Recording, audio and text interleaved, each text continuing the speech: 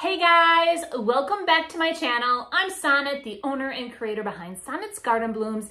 And in today's video, I am giving you five thrift flips. Yes, you heard it right. I recently went thrifting, go figure. And in today's video, we are flipping them with grungy numbers by Roycycled.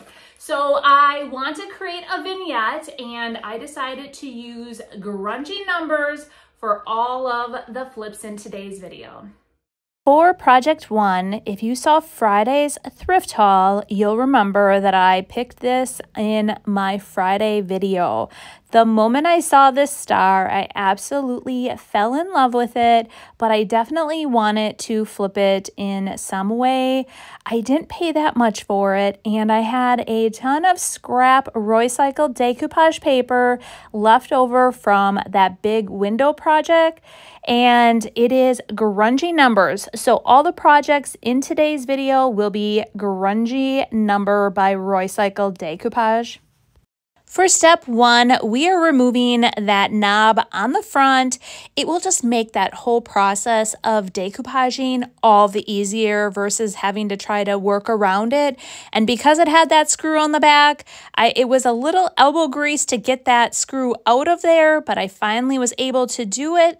And then let's get started on transforming this star. I'm going to lay the star on top of the decoupage paper, take a pen, and then just roughly outline the entire star. And I want to leave a slight overhang over the entire perimeter. That way, when I lay the star down, even if it shifts a little bit, it will still be okay because in the end, we're going to sand off any excess uh, paper.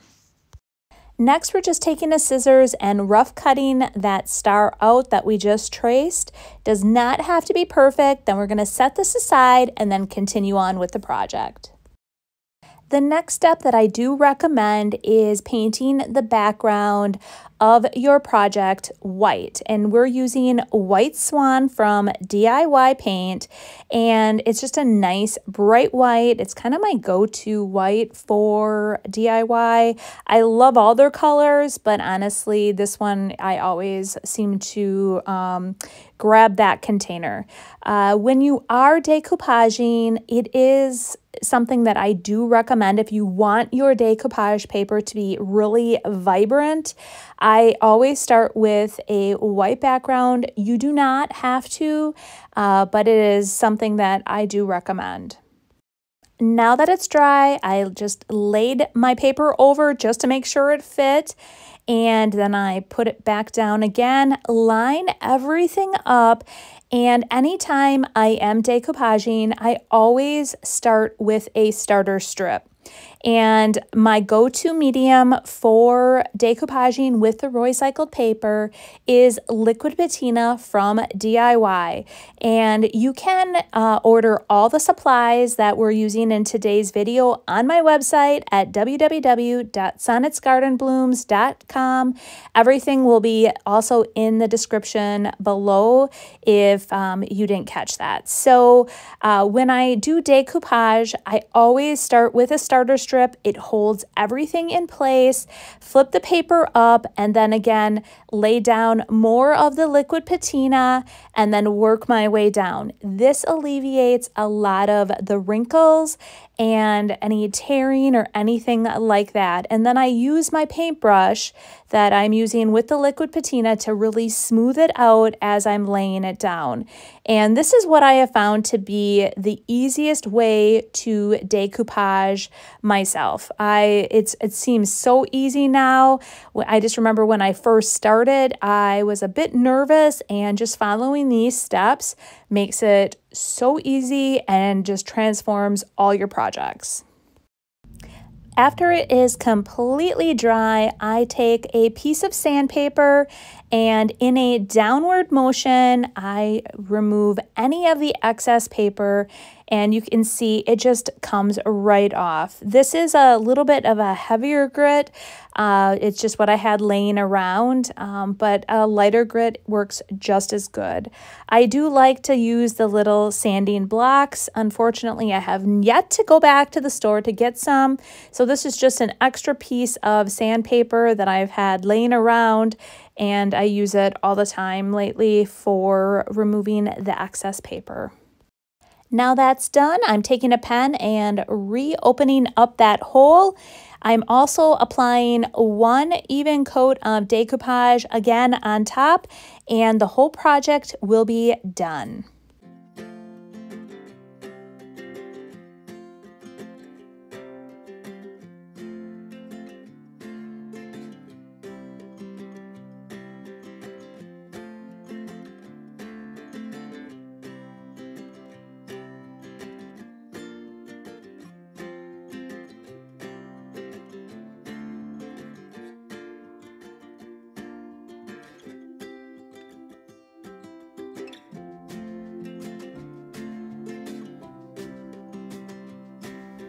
Project two, I also found this during my thrift haul from Friday's video.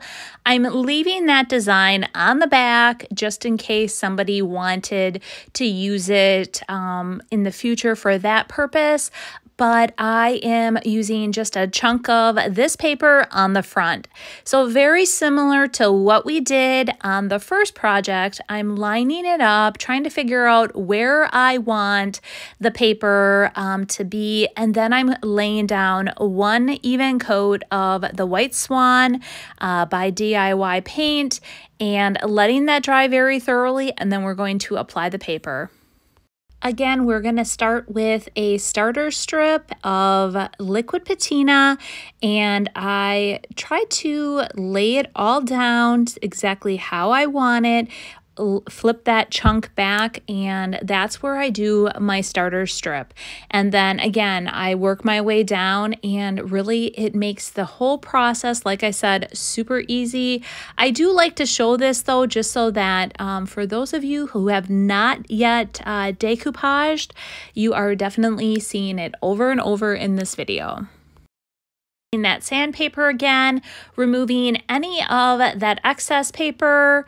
I also um, am sanding off, there was a little bit of white uh, paint that had kind of gone over the edge a little bit. I just sand that off and it's all ready to go taking that pen again, opening up that hole, and then I'm going to use just a little bit of twine and add a hanger on there.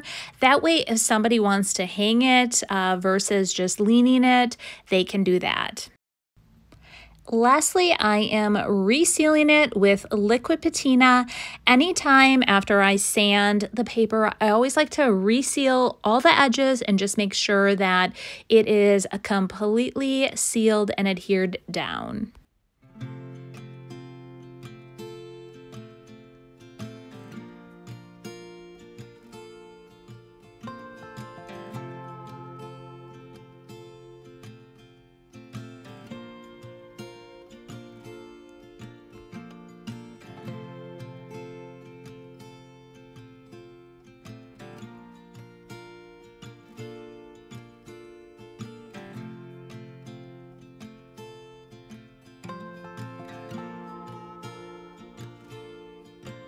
Project three, I found these three rolling pins during my thrift haul on Friday.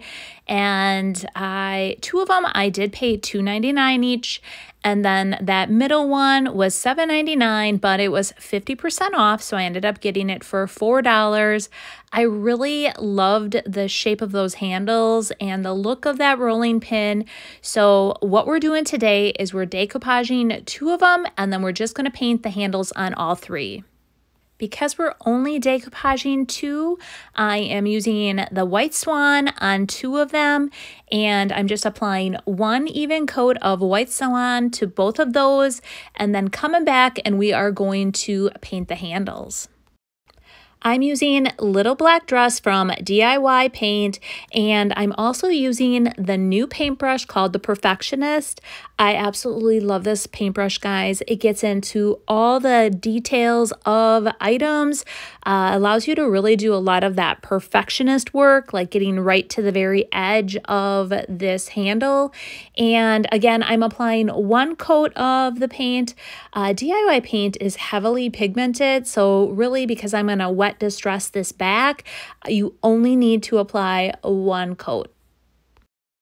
Now that these are dry, let's go ahead and apply the decoupage paper.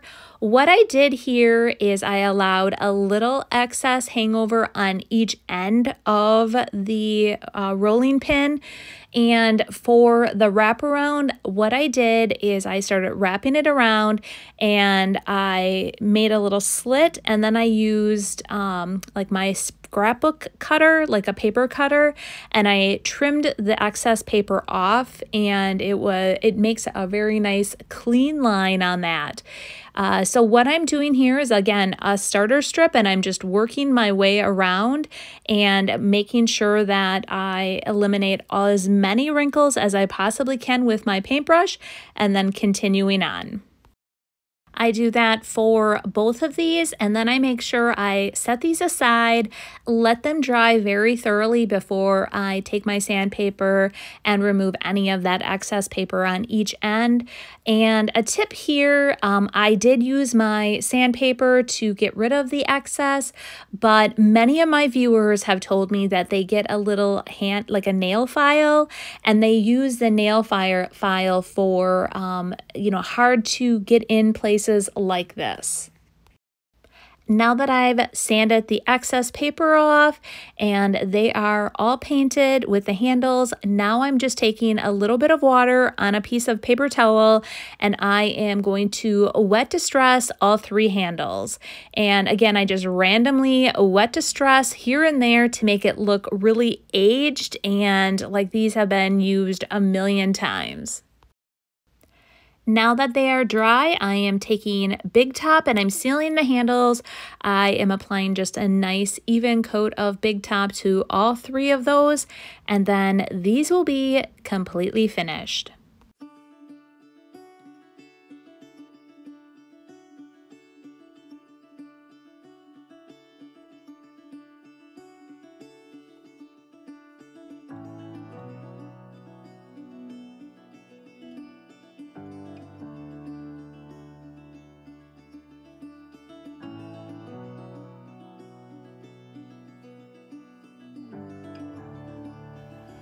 Project for another item I found on my Friday thrift haul were these two candlesticks, and one of them was missing that round piece.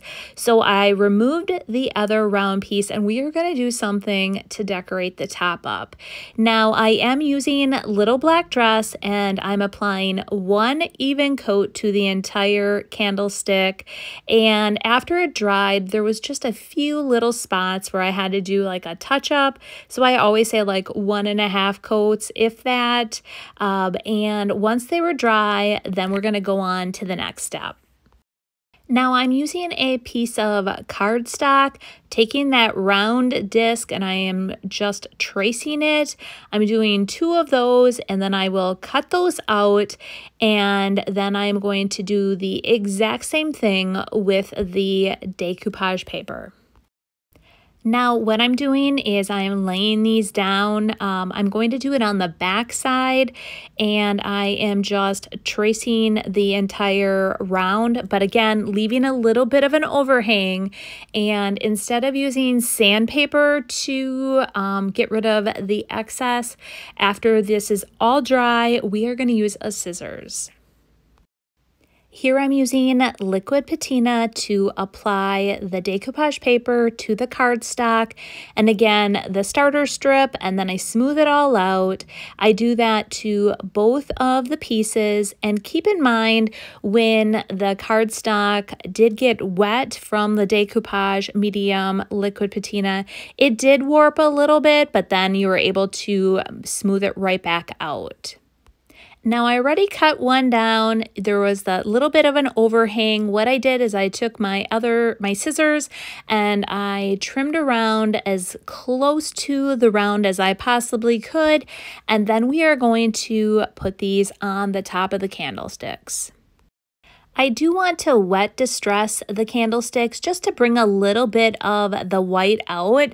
And again, I am just taking a, normally I take a damp rag. I just had some paper towel that I did um, pour a little water on and I randomly just wiped all over um, on the raised areas to bring out a little bit of the detail and a little bit of that white.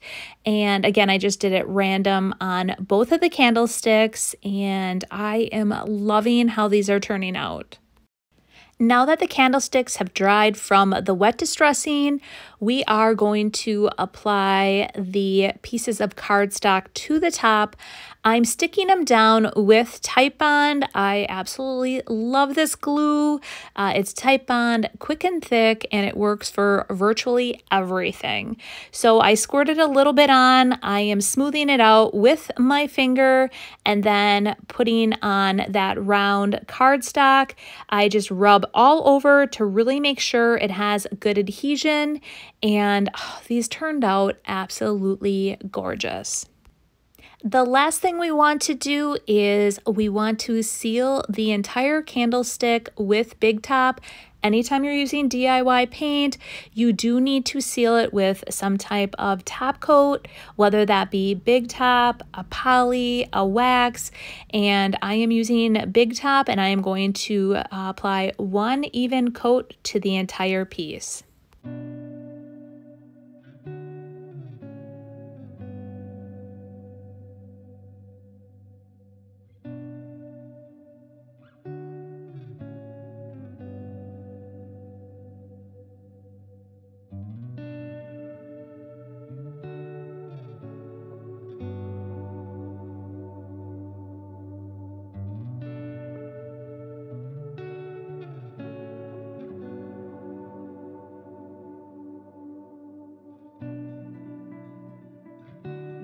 For my fifth and final project. Yes, the crate that I found on my Friday thrift haul.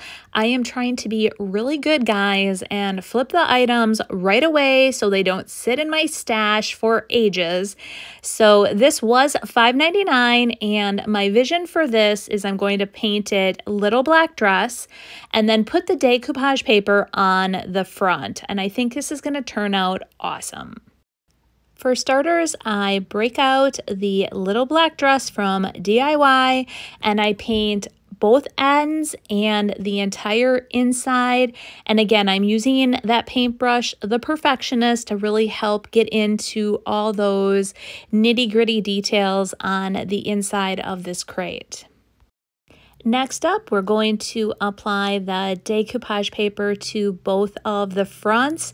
And I have already cut the two chunks of paper that I'm going to use and lay it out. And then again, I start on one side and I work my way down, just like you've seen with the rest.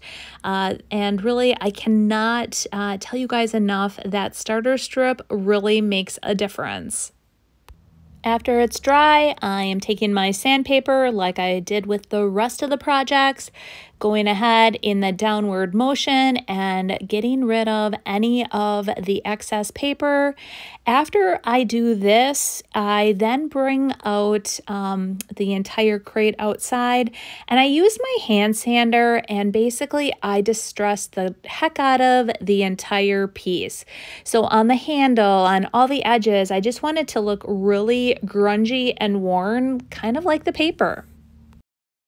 Here it is, all distressed, and I love it. I uh, now need to seal the entire piece though, so uh, I am using Big Top from DIY, and I am going to seal the entire piece, including the decoupage paper. Typically, I had always been using uh, liquid patina to seal it, but uh, you know Big Top is a sealer as well so I'm going through the entire piece and doing one even coat of Big Top and then this project is complete.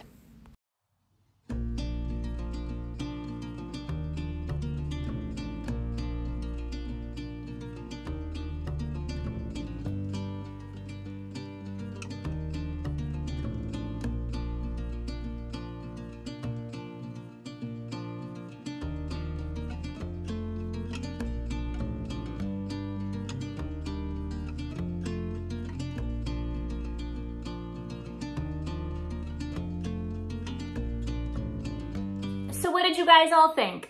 I absolutely, well, first of all, I love Roycycled decoupage paper. That is why I carry it but I just love how a simple piece of paper can transform an item and make it look completely different. So I hope you enjoyed today's video and that you got some great inspiration uh, to flip some of your own items. And Friday's video, I'm not yet sure. I did do some taping from this past weekend when I was in the North Woods of Wisconsin the Phelps rummage sales uh, took place. I just don't know exactly how much footage I actually have. Um, hoping enough to put together um, a video. I also got some really great items. So it might be like uh, kind of like a thrift haul video. Who knows? Um, so we'll see what happens there. Uh, but you guys have yourselves a great week. And just remember, tonight I am going live on Facebook and YouTube again.